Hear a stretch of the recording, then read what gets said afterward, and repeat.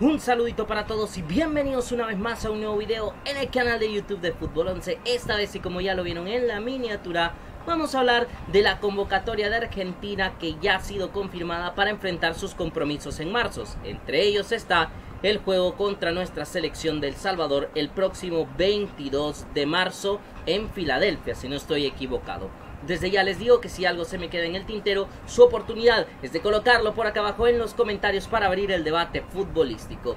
Dicho eso, vamos a arrancar con la zona de guardametas. Ya digo, esta convocatoria está totalmente confirmada en las redes sociales de la selección albiceleste. Guardametas. Emiliano Martínez, el Dibu de Aston Villa, que viene pasando por un muy buen momento. Es uno de los equipos favoritos, si no el principal favorito, para ganar la UEFA Conference League, que por cierto tendrá un cruce contra el Ajax de lo más interesante para el portero argentino. Franco Armani de River Plate, quien por cierto es el único jugador de la liga local. Únicamente Franquito Armani eh, llega desde la liga argentina. Y Walter Benítez, quien llega del PSV Eindhoven. Es un arquero con bastante recorrido. Quizás en su momento no se le tuvo tan en cuenta, a pesar de los temporadones que hacía en el Niza de Francia. Pero bueno, ahora se le tiene en cuenta. Ya había sido convocado un par de veces. En general, los tres son guardametas con mucha experiencia. En la zona de defensores empezamos con los centrales comandados por el vikingo Nicolás Otamendi de Benfica, un Benfica que está metidísimo también en, la pelea europea, en este caso en la UEFA Europa League, con Nico también siendo uno de sus, de sus principales futbolistas. Y por supuesto a nivel local está metidísimo para, para meterla eh, para tratar de ganar la mayor cantidad de títulos posibles. El Cuti Romero con el Tottenham que están en esa pelea por luchar, perdón, están en esa pelea por clasificar a posiciones europeas de cara a la próxima temporada.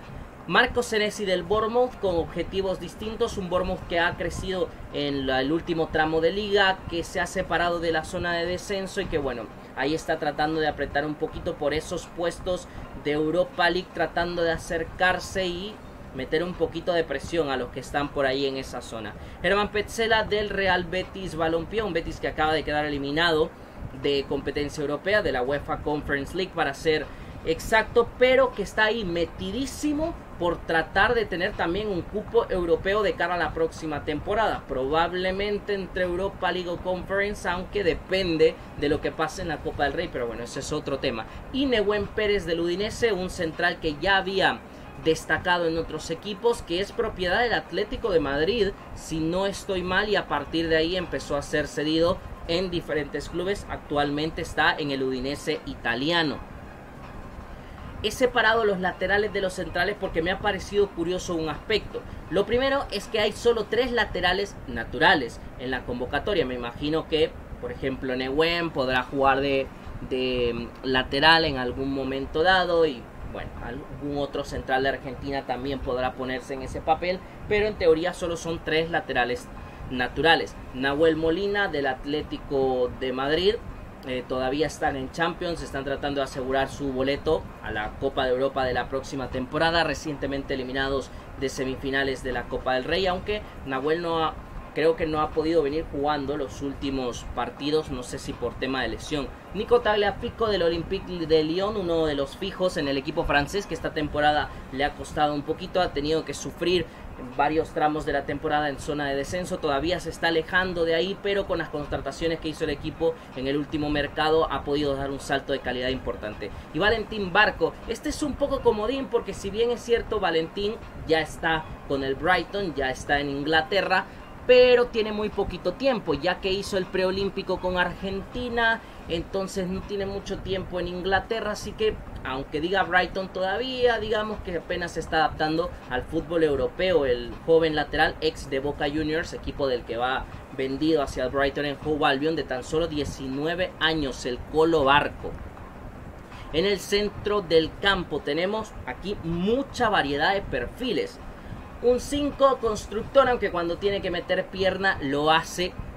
Y en serio, Leandro Paredes de la Roma, que ahora dirige Daniele De Rossi, que ha repuntado en los últimos partidos ahora al mando del italiano.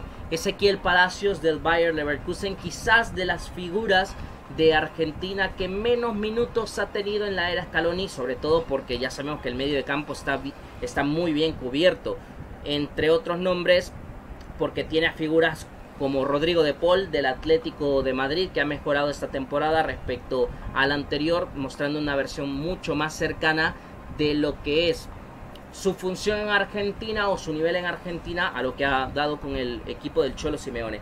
Alexis McAllister, reciente campeón de la Carabao Cup, titular indiscutible para Jurgen Klopp en, en el Liverpool y que está peleando prácticamente por todo, por Europa League, es líder de la Premier League, siguen en competencia en FA Cup, acaban de eliminar al Southampton en la cuarta ronda, si no estoy equivocado, de la competencia Coopera. Enzo Fernández, otro que avanzó en FA Cup, subcampeón de la Carabao Cup con el Chelsea, que la perdieron justamente ante Liverpool de Alexis McAllister, que en liga no están demasiado bien, que todavía no han encontrado un punto de dinámica positivo para que eso les ayude a ir escalando o como un trampolín, ¿no? Para meterse a, zonas europeas que por la inversión que ha hecho el Chelsea evidentemente debe ser el objetivo.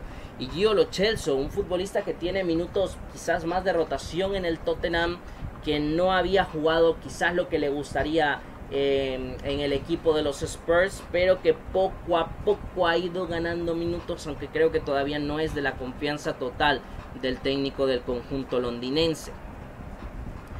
Más mediocampistas, en este caso medios ofensivos barras mediapuntas. Facundo Bonanote del Brighton, que es verdad que todavía le hace falta adaptarse un poquito para empezar a dejar grandes actuaciones en Europa, pero que de a poco le va sirviendo al equipo de Roberto de Chervi también para darle un, poquito más de energía y, y, sobre todo de opciones a esa galería de o abanico de futbolistas ofensivos que tienen los Eagles. Valentín Carboni, futbolista de 18 años del Monza, es decir que a él no lo tengo mucho en el radar no he visto al, Monza esta temporada, entonces no puedo comentar demasiado respecto a esto, más que la edad que lo he buscado y su posición MCO, que es de lo que más juega en el Monza. Paulo Dybala, la joya que desde que llegó a Roma la está rompiendo, campeón del mundo con Argentina. Creo que es parte de, de eso, de ese equipo suena un poco feo, ¿no? Porque al final en Argentina todos son estrellas, pero de ese equipo B que cuando necesita echar mano de piezas ofensivas que te cambien el partido, ahí está la joya, siempre dispuesto para darle un poquito más al albiceleste. Lionel Messi, la gran figura del Inter de Miami, la gran figura de Argentina que estará en los partidos amistosos. ¿Qué tanto jugará? Ya veremos, es comienzo de temporada, apenas ha arrancado la MLS, aunque ya también van a empezar a disputar Liga de Campeones de la CONCACAF, entonces se van a mezclar dos torneos, entre medio del año se viene el X-Cup, se viene Euro, se viene Eurocopa, no, o sea, Eurocopa también, no, pero para Argentina se viene Copa América, muchas cositas eh, para Messi, entonces no sé qué tanta posibilidad haya que juega a diferencia de cuando lo hizo con Inter de Miami acá en El Salvador.